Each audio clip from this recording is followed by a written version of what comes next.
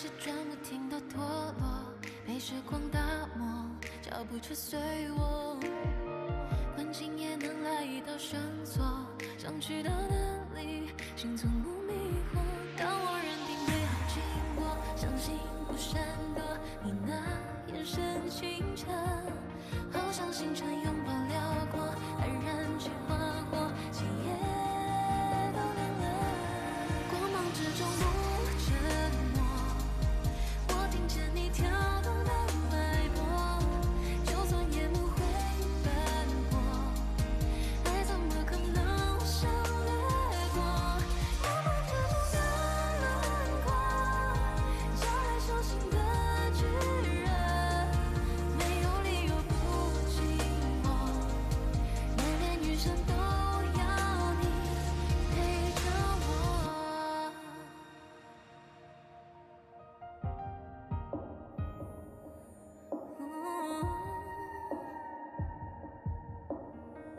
Chuyển thể từ Cõi Trần Nhộn Nhịp tập 3 Văn học Tấn Giang, tác giả, Bắc Khuynh.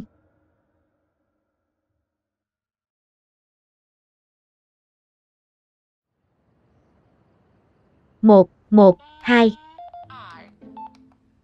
Một, một, hai. Thoát ra. Cái này rốt cuộc phải ghi vào chương trình thế nào nhỉ?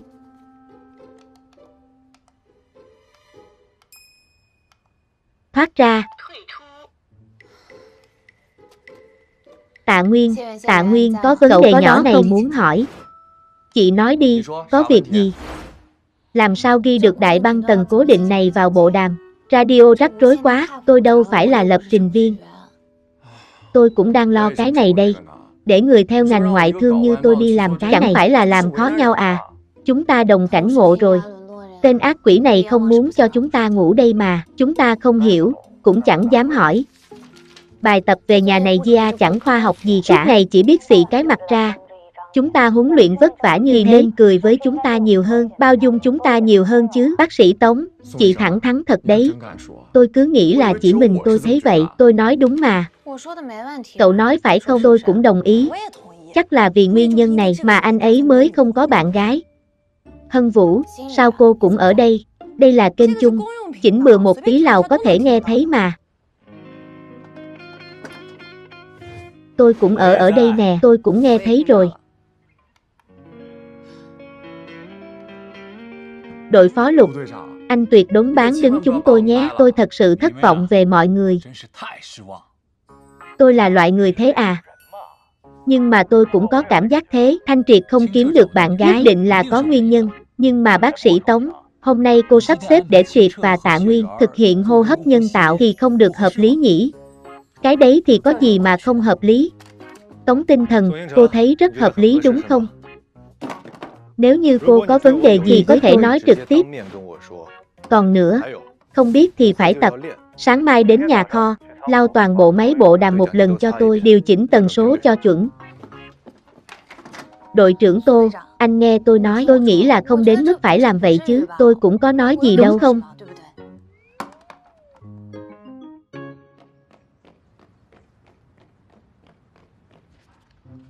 Bao nhiêu tuổi rồi, mà còn chơi cái trói việc công Người gì vậy chứ? Con người ta, sao lại thiếu rộng lượng thế chứ? Quá là hẹp hòi. Tùy từng người tôi mới rộng lượng đấy, mắng đủ chưa? Anh đến đây làm gì? Tôi đến xem cô học thế nào rồi, tiện thể giảm bớt lượng bài tập cho. Nhưng mà bây giờ xem ra, không cần anh giả vờ tốt Nếu như tôi học không vào thì cũng hoàn toàn là do anh dạy dở. Xem ra cô vẫn chưa học được bài học. Xem ra đội trưởng tổng không biết tiếp thu ý kiến, không biết bốn chữ, sự thật mất lòng, viết thế nào nhỉ? Không phải ý kiến của ai tôi cũng nghe đâu. Với lại, sao tôi phải nghe ý kiến của cô chứ? Tại sao trước mặt mọi người anh lại ra vẻ chính Còn gặp tôi thì lại đối xử khác? Bởi vì mỗi người khác nhau sẽ có cách đối xử khác nhau mà vừa hay cô là người cần đối xử anh cố ý thì có. Dạy và học ảnh hưởng thúc đẩy lẫn học sinh dốt. Chỉ có thầy giáo không biết dạy mà thôi. Tôi lau xong rồi. Buổi chiều còn cuối buổi huấn luyện CPR của tôi.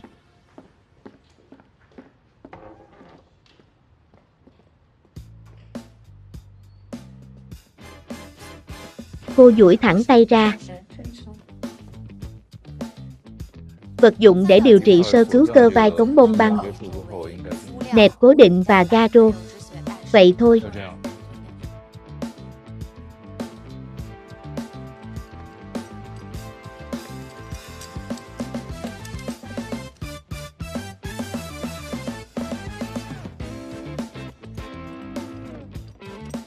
Tôi xin nghỉ, muốn về nghỉ ngơi. Ừ.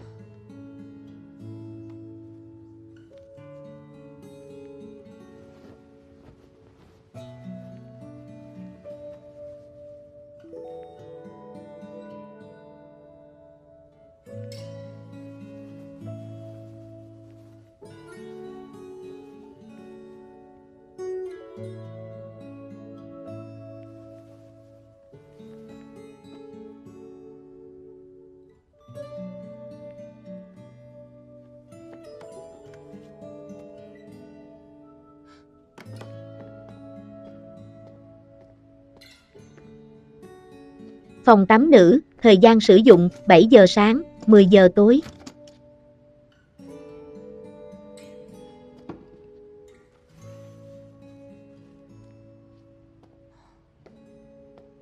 Cô sao thế? Không sao. Mà này đội trưởng Tô, tôi có một yêu cầu quá đáng.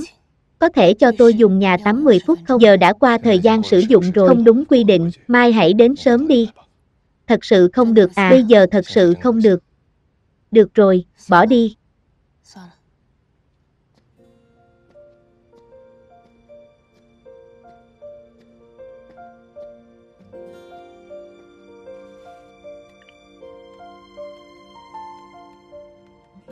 Nếu như con gái đến ngày đó phải uống thuốc gì?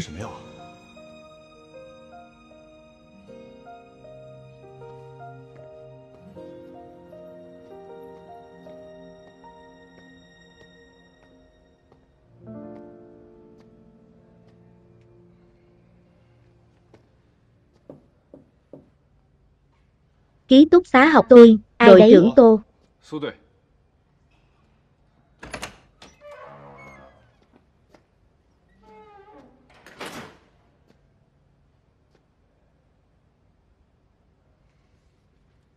Cái này, không biết chỗ này có đủ không? Cầm đi. Không đủ thì bảo tôi lấy thêm, sao đột nhiên lại đổi tính thế? Anh mà cũng biết mấy cái này à? Tôi không thể phá lệ kẹo dài thời gian sử dụng phòng tắm thời điểm đặc biệt thiệt thể đối xử đặc biệt. Sao thế? Tôi đang nghĩ, anh cũng không phải hoàn toàn tồi tệ.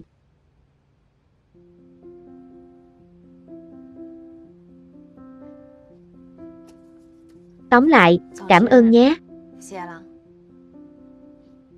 Vậy cô nghỉ ngơi đi. Còn nữa, buổi chạy bộ sáng mai cô không cần đến đâu. Mau nghỉ ngơi đi.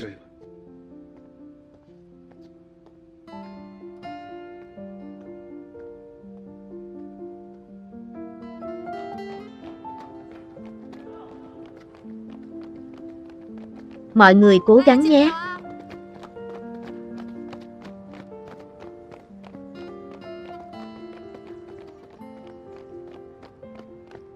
Tống tinh thần đến lúc nào thế?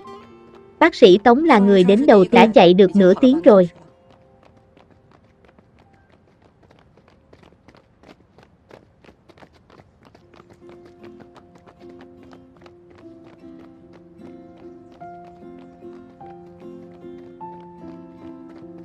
Bao lâu rồi? Tôi mệt chết mất.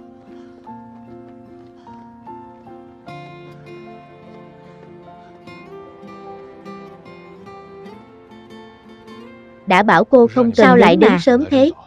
Không sao, chạy chậm có lợi cho sức khỏe. Buổi huấn luyện chiều nay cô tham gia Đây chỉ là kỳ kinh nguyệt không cần quan tâm đặc biệt đến tôi. Nước nóng. Cảm ơn. Ngày mai chạy việc giả vũ trang 30 km tôi biết rồi, trên lịch huấn luyện có ghi. Có lẽ lúc đó sẽ dùng đến cái này. Đội trưởng Tô Kết hợp hành vi gần đây của tôi anh có nghi ngờ hợp lý lành rất quan tâm tới tôi. Tôi chỉ đang quan tâm đến cứu viên y tế của đội thôi.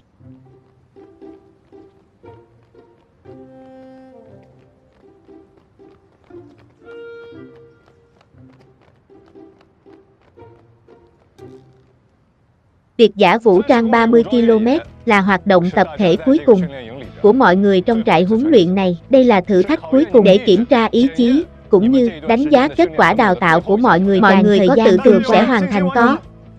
Bên trái quay. Chạy bộ, chạy.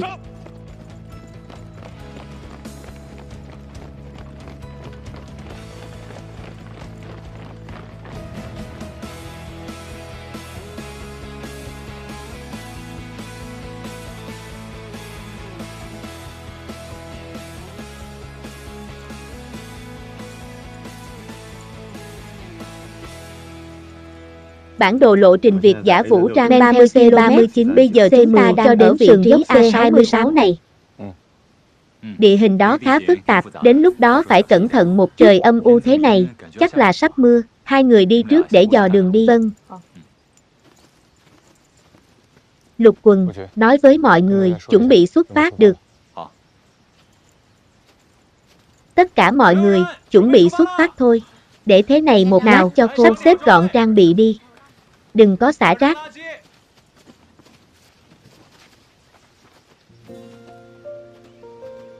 Đi thôi.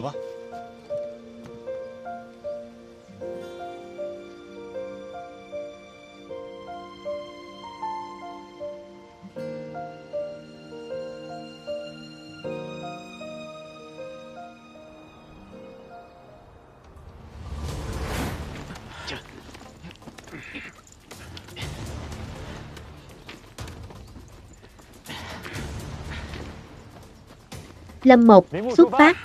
Đã rõ, đội ý an toàn, xuất phát. Bám chặt dây thừng, chú ý dưới chân.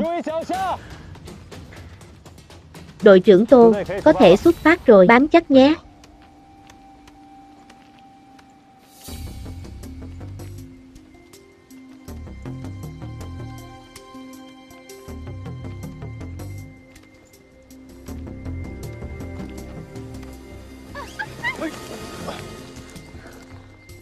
Chân không sao chứ, không sao, cảm ơn, nhất định phải bám chặt vào.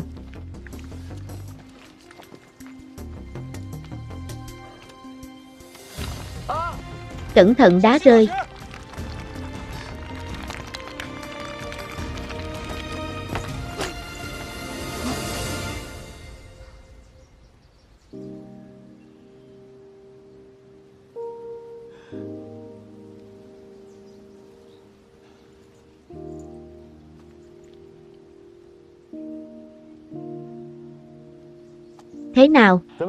Có bị thương không? Tôi không sao. Tiếp tục đi. Cẩn thận nhé. Nhất định phải mọi người cẩn thận đá rơi. Nào,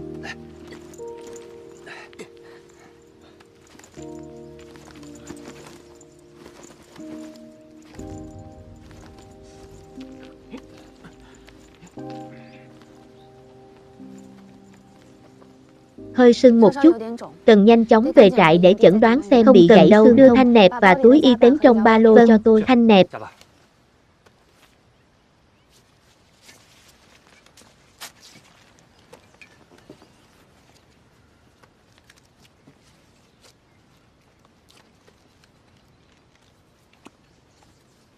Có thể nghiêm túc chút được không?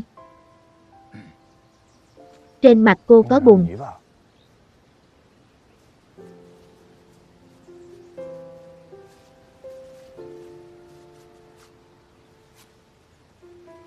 Giờ chỉ có thể bản bó cố định đơn giản thế này Cần thôi. phải đưa anh ấy về để chụp chiếu. Không sao đâu, tôi bị thương mọi người. Nhất định phải quay về. Cảm ơn nhé bác sĩ Tống. Đứng lên đi. Đi thôi. Lâm một cậu dẫn dắt mọi người người tục huấn luyện, mọi người tiếp tục đi đừng lo nữa, tôi không tôi biết rồi, đi mau nhớ trường lạnh đấy nhé, không thì cẩn thận lại sưng vù lên. Đi thôi, cẩn thận nhé.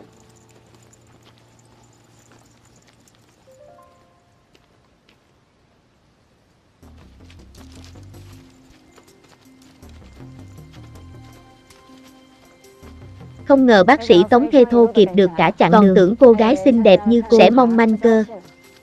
Cứ gọi tôi là tinh thần. Mọi người cố lên, sắp đến điểm nghỉ ngơi rồi.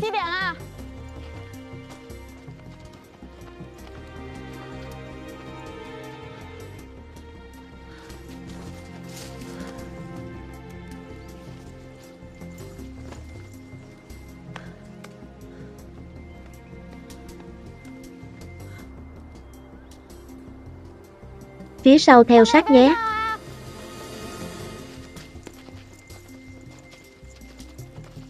Chị tinh thần, chị có nhìn thấy Lưu Hân Vũ không? Vừa nãy cô ấy đi theo phía sao tự nhiên lại không thấy không nữa. phải là bị tụt lại phía sau chứ, không sao đâu, tôi đi tìm sẽ đuổi kịp mọi người nhanh cô đi trước đi. Cấp cứu. Cũng lâu rồi, phim chụp chắc phải có rồi chứ. Có phim chụp thì bác sĩ sẽ gọi tôi, tôi cảm giác trời như sắp mưa thật ấy.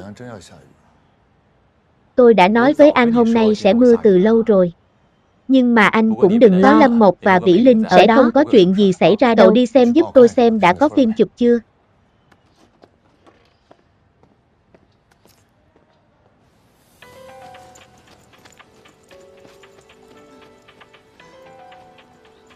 Hân Vũ Sao cô lại ở đây?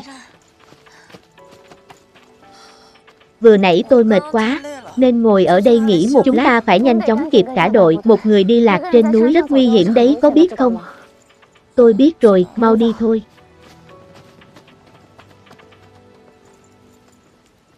Chị Vĩ Linh, thiếu hai người, sao lại thiếu hai người? Hân Vũ đi chậm, bị tụt lại phía sau đã đi tìm rồi.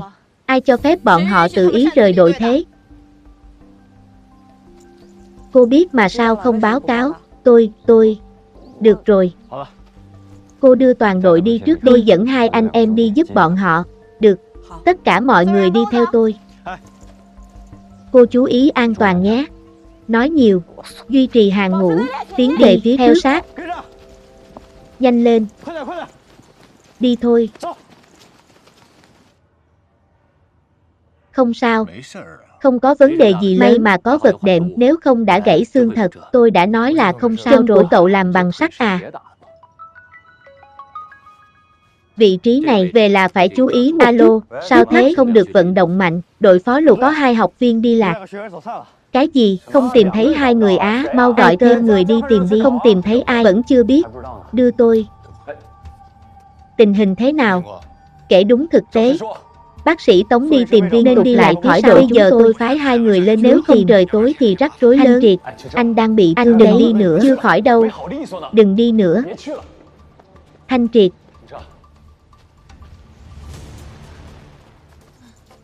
Chết rồi chị tinh thần ơi, chúng ta đã đi bộ rất lòng chẳng thấy bóng dáng có phải chúng ta bị lạc rồi không? Đừng sợ, có tôi ở đây chúng ta để lại ký hiệu ở đây trước, bọn họ phát hiện chúng ta chưa quay sẽ nhất định cho người đi tìm Đến lúc đó sẽ lần theo ký hiệu tìm thấy chúng ta. Ở đây đi.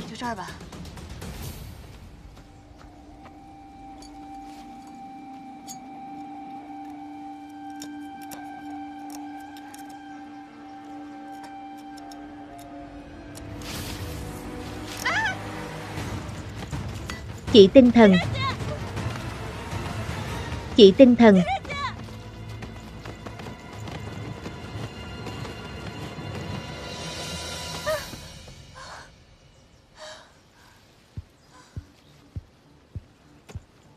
Chị tinh thần, chị có sao không? Chị tinh thần, chị có nghe thấy không? Hân Vũ Hân Vũ, cô đừng cô nghe tôi nói Bây giờ cô đi theo hướng Tây Nam xuống núi, tìm thấy đội. Nói với bọn họ là tôi ở đây thấy không? Vâng tôi hiểu rồi, chị ở đây đợi tôi.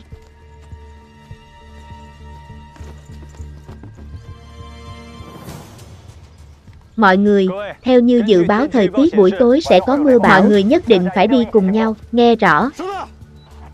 Bên này, bác sĩ Tống, Lưu Hân Vũ, bác sĩ Tống. Tống tinh thần. Tống tinh thần.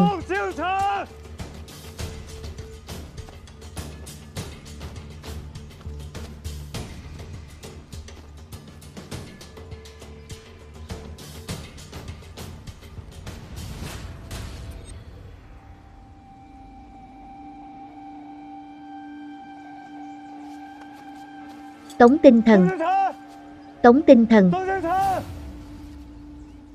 Tô Thanh Triệt. Sao anh lại đến đây? Chân anh như thế không chạy lung tung được tôi đâu. không sao, cô đợi tôi, bây giờ tôi sẽ xuống đó.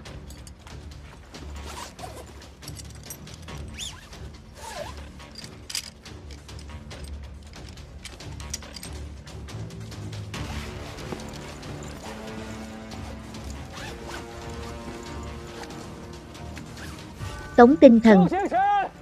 Tống tinh thần. Lưu Hân Vũ, bác sĩ Tống. Bác sĩ Tống.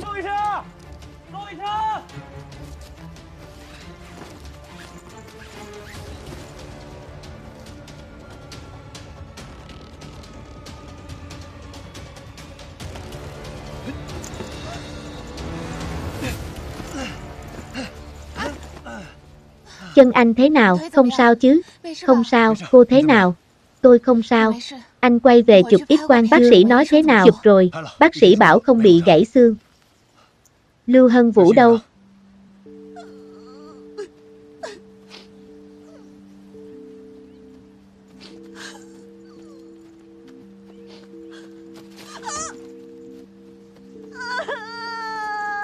Lưu Hân Vũ Lưu Hân Tôi Vũ. ở đây Sao rồi, cô không sao chứ, tinh thần đâu? Chị ấy, chị ấy rơi xuống dưới rồi, cái gì, ở đâu? Ở, ở đằng lục quần. Lưu Hân Vũ chắc đã đi theo Tây Nam xuống núi rồi, men theo đường núi mà tìm. Lưu Hân Vũ đang ở chỗ tinh thần rơi xuống sườn núi không biết vị trí ở đâu, làm sao bây giờ? Tống tinh thần đang ở cùng tôi rồi, lát nữa chắc chúng tôi tìm chỗ nào nghỉ ngơi tìm thấy địa điểm cụ thể tôi thông báo cho cậu, không thành vấn đề. Hai cậu đưa cô ấy về đi nhanh. Đi thôi. Không sao chứ. Lâm Mộc, theo tôi đi tìm đội vâng. trưởng, đi thôi. Anh đã như vậy rồi kình cố tỏ để người khác đến không được à, người của tôi là thì đương nhiên tôi phải tự mình đi tìm. Ai là người của anh? Cô nghĩ đi đâu thế? Tôi là đội trưởng, Các cô đều là đội viên của tôi, không phải à, lợi dụng tôi. Mưa rồi, mau đi thôi.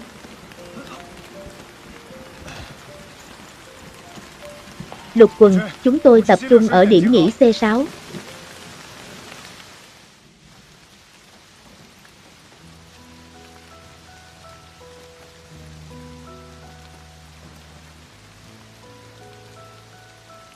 Đói à, không.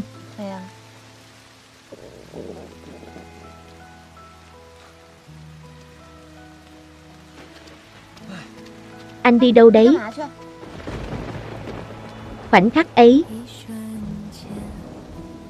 Như hòa chung nhịp đập trái tim.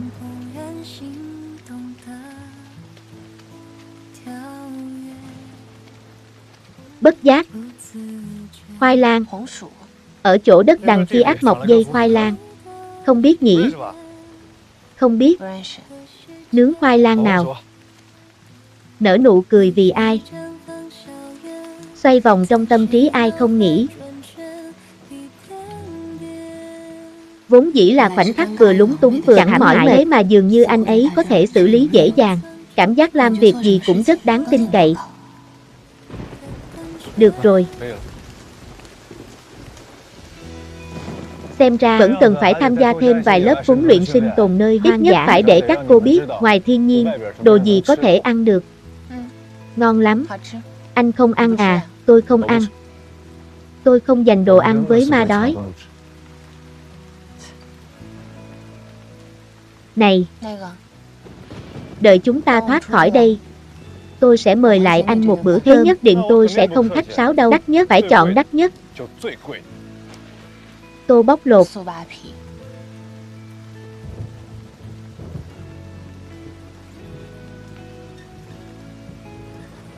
Nếu ngày mai cũng là ngày nắng đẹp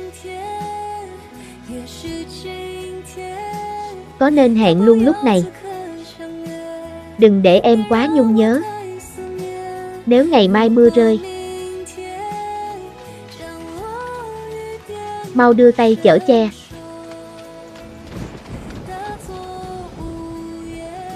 Lại gần một chút, em sẽ nghe thấy.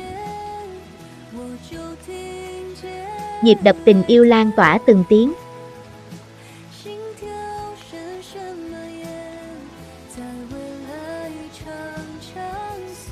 Nhịp tim đập nhanh là do dopamine và adrenaline tiết ra ảnh hưởng lên hệ thần kinh tự chủ, không có ý nghĩa gì cả. Đây là việc mà trái tim của tống tinh thần. Một người gần 30 tuổi đầu đầy kinh nghiệm nên làm ư. Khoảnh khắc ấy. Đừng đập nữa. Sao thế?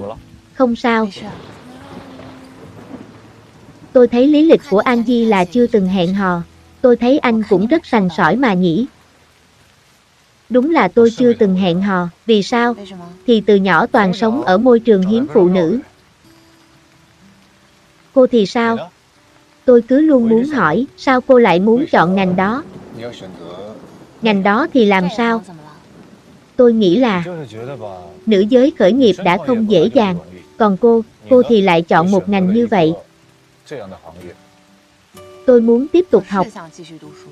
Chỉ là có thời gian rảnh thì cùng bạn mở cửa hàng mà thôi. Tuy là bây giờ tôi bán đồ lót nữ giới nhưng mà sau này sẽ chuyển thành cửa hàng chuyên bán sản phẩm dành cho phụ nữ. Anh đợi mà xem. Bây giờ tôi bắt đầu thét không chỉ có chính kiến, còn rất có dũng khí nữa, đương nhiên rồi. Thế anh thì sao? Tại sao lại thành lập đội cứu hộ? Bây giờ, chúng ta đang sống trong thời đại hòa bình không có chiến tranh. Nhưng vẫn phải đối mặt với thảm họa và bất trắc tôi thì muốn thông qua cực dạ. Để đem đến cho mọi người 10 môi trường chuyên nghiệp và một đội ngũ có tổ chức.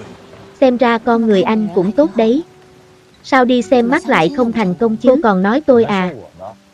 Chẳng phải cô đi xem mắt cũng không thành Sao? anh biết là tôi không thành công. Không phải tôi lào tượng xem mắt của cô à. thích tôi nhiều lắm. Đúng rồi Đừng làm mất nữa, anh tìm thấy rồi à. Tôi không chỉ tìm thấy, mà còn nhìn ký hiệu mà cô khắc trên cây. Anh nhìn thấy ký hiệu tôi khắc à. Đội trưởng Tô, ở đây này. Đội trưởng Tô, hai người không sao chứ.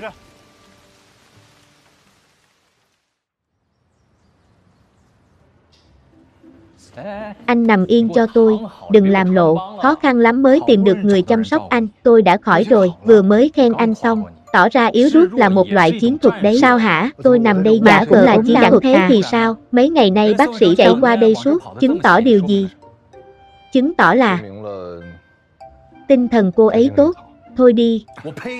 Chứng tỏ anh là anh hùng cứu giả vờ bệnh tật có hiệu quả đấy, anh ngoan ngoãn nằm yên tận hưởng thêm vài ngày được không? Nhưng mà cũng đúng nhỉ.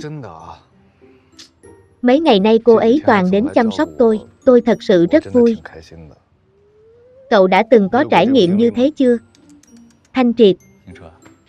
Anh thay đổi rồi. Sắc đẹp đã làm mù quáng lương tâm anh. Cậu nói xem. Có phải cô ấy cũng thích tôi không? Trai già nếm mùi tình rồi à? Để tôi phân tích cho anh nghe, anh xem nhé. Mấy hôm hai người chẳng coi nhau ra gì, chẳng nể nang gì đối phương. Nhiều nhất thì bây giờ, cô ấy chỉ cảm kích và ấy nấy với anh thôi. Nếu chỉ có thế thôi đã thích anh, thì chắc chắn cô ấy hội chứng Stockholm rồi.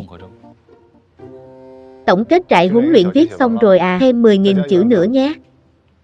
Có thể tôi cũng mắc hội chứng đó, anh cũng chỉ có chút bản lĩnh thế thôi. Anh mau kể cho tôi biết. ở trong căn nhà nhỏ đó, hai người đã xảy ra chuyện gì? Sao cậu cậu muốn hỏi cơ hội tốt như thế, người có xảy ra chuyện gì không? Đó là nơi thế nào hả? Thật sự là không có chuyện gì cả.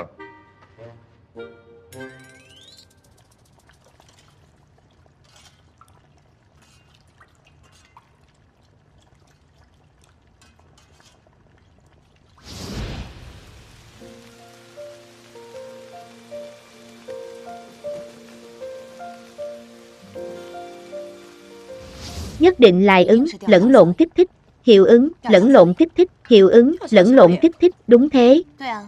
Hiệu ứng, lẫn lộn kích thích là khi một người nơm nớp lo sợ đi qua cầu treo, thì tim sẽ bất giác đập nhanh. Nếu như lúc đó, gặp phải một người khác, thì anh ta sẽ lý giải rằng tim đập nhanh lào đối phương làm mình động lòng, thì mới sinh ra phản ứng sinh lý. Thế là cô với đội trưởng Tô ôn tập tâm lý học thôi. Được rồi. Cô cho nhiều đồ bổ như vậy có bị bổ quá không? Không đâu. Đội trưởng Tô bị bệnh rất nặng. Thông thường, khi con người nhận thức được thân nảy sinh một loại cảm thì sẽ trải qua hai giai đoạn, đó là nhiệt độ cơ thể tăng, tim đập nhanh. Sau đó anh ta tìm lời giải thích hợp lý cho thứ cảm xúc đó của mình dựa theo môi trường xung quanh. Ví dụ như việc lấp đầy dạ dày khi đói, hoặc là rung động trước ai đó, thì cơ thể con người đều có cùng cảm giác sinh lý. Có cần phải nói nhiều thế không?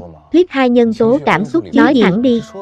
Hai người đã cùng nhau, ở trong một hoàn cảnh nguy hiểm, anh lại lấp đầy cái bụng cho cô ấy. Dựa vào lý mà nói, cô ấy sẽ nảy sinh tin cậy và ỷ lại vào anh. Anh chỉ biết mỗi lý luận anh phải học đi đôi với hành chứ.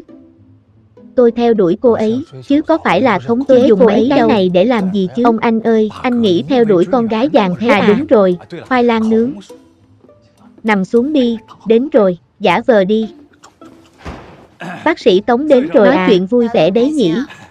còn mang đồ ăn ngon đến ให้ mọi người ăn nhé, tôi không làm phiền nữa. Uống canh đi. Lại là canh này à? Trong canh này có rất nhiều vị thuốc, tốt cho sức khỏe anh. Nào. Chân còn đau không? Đỡ nhiều rồi. Có ngon không?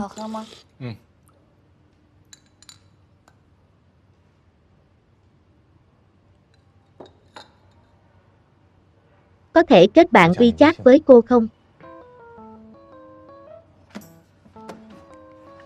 Nhưng mà, sao nhất định phải kết bạn WeChat nhỉ? Có chuyện nghiệp có thể liên hệ còn có thể yêu cầu bồi quen biết cũng lâu rồi, không kết bạn WeChat không hợp lý lắm. Tống tinh thân, thêm vào là Tô Thanh Triệt. Tô Thanh Triệt, đồng ý, Anh không sợ sau khi tôi rời khỏi chặn anh à, cô cứ thử xem, thái độ không tốt là tôi chặn ngay. Uống canh đi, tôi đi trước đây.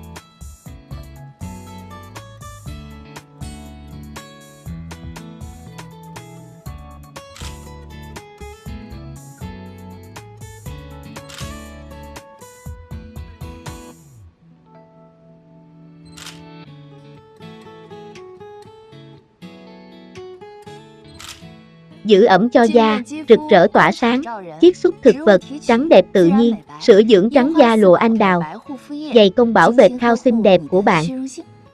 Cắt, rất tốt, vất vả rồi. Thay đồ đi, chuẩn bị cho cảnh sau. Chị Thanh Âm, tôi nghe nói người mẫu quản cắt đây của bọn họ đã nói hơn mười mấy thế mà chị quay một lần là ăn ngay, giỏi quá. Từ từ thôi, điện thoại. Có điện thoại hay tin nhắn gì không? Nhưng mà không có tin của anh Thanh Triệt nhà chị, toàn là hẹn lịch trình.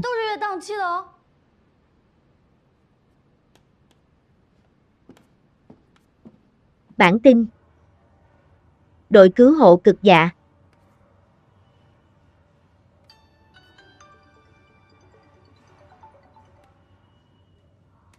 Alo, alo, anh Thanh Triệt, anh thế nào rồi? Em gọi điện cho Lục Quần. Anh ấy nói đêm anh lên núi tìm người, anh có bị thương không? Tôi không sao. Đúng rồi, vài ngày nữa em quay về. Anh có cần đồ gì không? Không cần, cảm ơn nhé. Em biết là anh sẽ khách sáo với em mà, nên là em đã mua từ lâu rồi là cà vạt nhé. Thanh âm, thay quần áo thôi, chuẩn bị cho cảnh sau. Anh này, em phải đi đây. Quay về em muốn ăn món cá kho anh nấu. Tắt máy đây. Thanh âm, chúng ta đi thay đồ đi. Đi.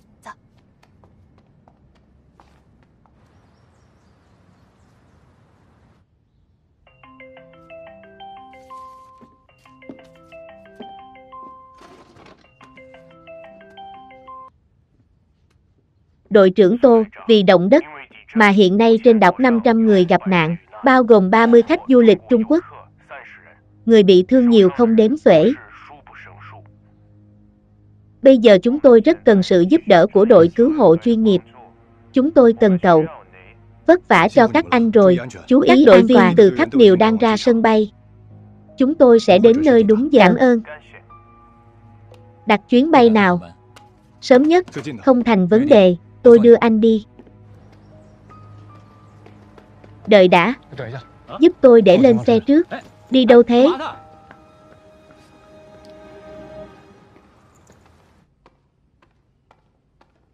Cứu hộ cực dạ, bác sĩ Tống.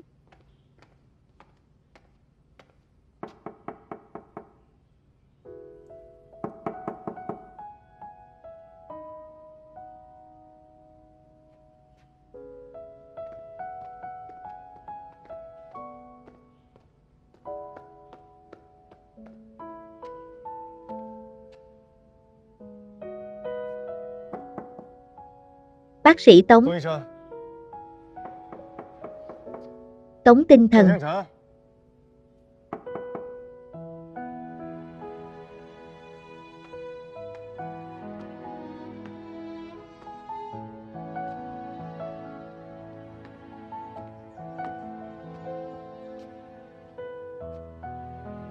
Không nói câu gì mà đã đi rồi. Tống tinh thần.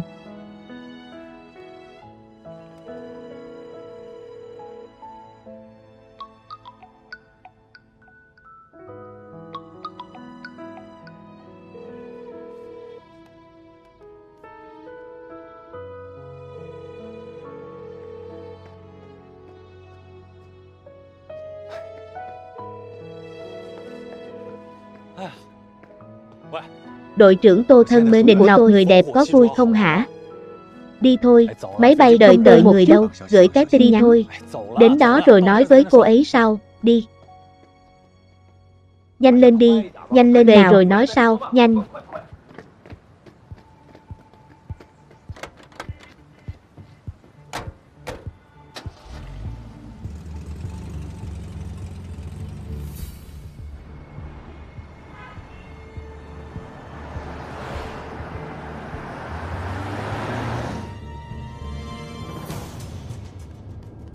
Có nhiệm vụ đột xuất tôi phải đi, vốn gặp cô để nói mà Chắc lơ mời bạn tham gia cuộc gọi thoại. Chắc lơ, tô, tôi giới thiệu trước cho Quỳnh Hình ở đây. Có sạc dự phòng không? Trên xe tôi không có, ra sân bay kiếm một cái. Anh nói tiếp đi.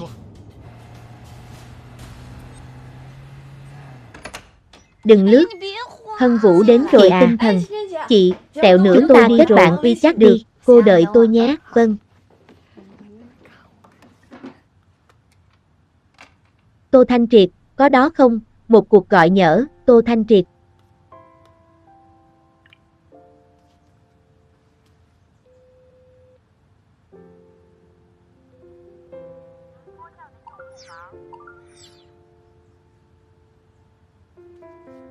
Có đó không? Thời đại nào rồi còn hỏi có đó không? Đi đâu, bao giờ về, cũng chẳng nói rõ ràng. Lúc ở trên núi nói mời anh đi cho anh chọn thời gian và địa điểm.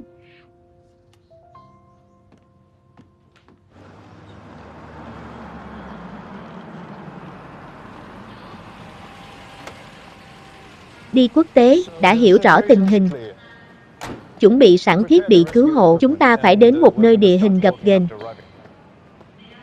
Còn có vấn đề gì không? Hết pin rồi. Mau đi, còn chưa làm thủ tục lên máy bay, tẹo bay giúp tôi nói với ông ông đừng lo nhé. Còn nữa, cũng nói cho cả tống tin tôi biết rồi, đi đi còn chưa nói xong mà, chuyện rút đội, sắp xếp xong rồi, có việc gì thì trực tiếp nói với tôi, mau đi điệp đâu, mau đi đi, chú ý an toàn nhé. Lục quần, anh ơi, bao giờ anh đến chơi với bọn em? Tiên nữ gọi, bắt buộc phải có tối nay gặp nhé. Châu Nghiêu, hôm nay có một cuộc hẹn cùng tôi nhé. Đúng rồi. Anh ấy bảo mình nói với ai ý nhỉ? À, đúng rồi, ông. Ông thủ trưởng.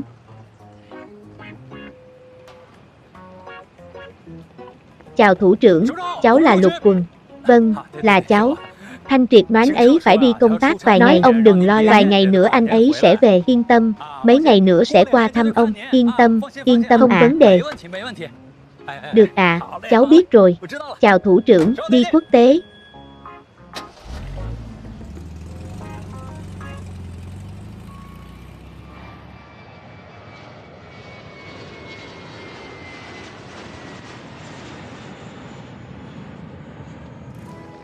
Chị tinh thần, sau này là một đội rồi, chúng ta hợp tác với nhóm định sẽ ăn ý đương nhiên rồi. Công ty của bọn tôi thông là sau này bay các chuyến bay quốc tế, sợ là sau này không có ở bên cạnh mọi người rồi, không sao. Lần huấn luyện này có ích cho chúng ta cả đời. Sau này gặp bất cứ vấn đề gì thì chúng ta đều có kinh nghiệm rồi cũng đúng không? Vậy chúng tôi đi trước nhé, từ. Tạm biệt. Chị tinh thần, Chị tinh thần Chị tinh thần, xin lỗi trước là tôi sai rồi, nên ích kỷ mà tự mình rời đội, không cần giải thích với tôi. Tôi chỉ thấy là, trong hoạt động cứu hộ, mỗi người đều phải biết chuyển môn của mình, đương nhiên. Tôi thấy cô rất giỏi, sau này cố gắng nhé. Được, tôi biết rồi. Chị tinh thần, ông cái nào? Chị tinh thần, tạm biệt.